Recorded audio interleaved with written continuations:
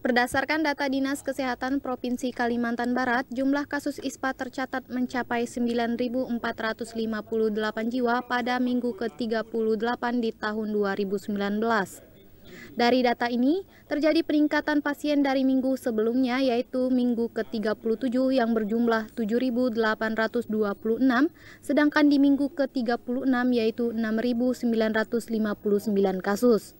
Kepala Dinas Kesehatan Kalbar Harrison mengatakan daerah tertinggi jumlah penderita ISPA berada di Kabupaten Sambas.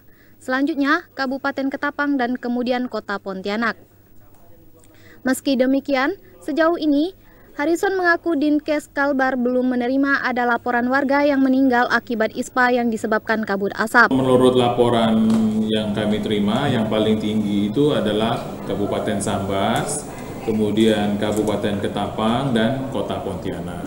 Itu yang paling tiga yang paling tinggi. Nah, tapi ini memang kita belum buat artinya secara pro proporsional kan sebenarnya jumlah penduduk di Sambas sebenarnya lebih tinggi daripada di Ketapang.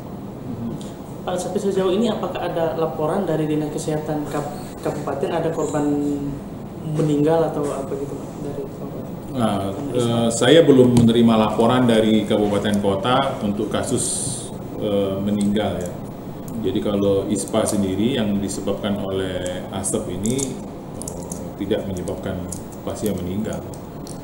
Kalaupun nanti ada pasien meninggal biasanya untuk kasus-kasus yang lebih berat dari ISPA biasanya.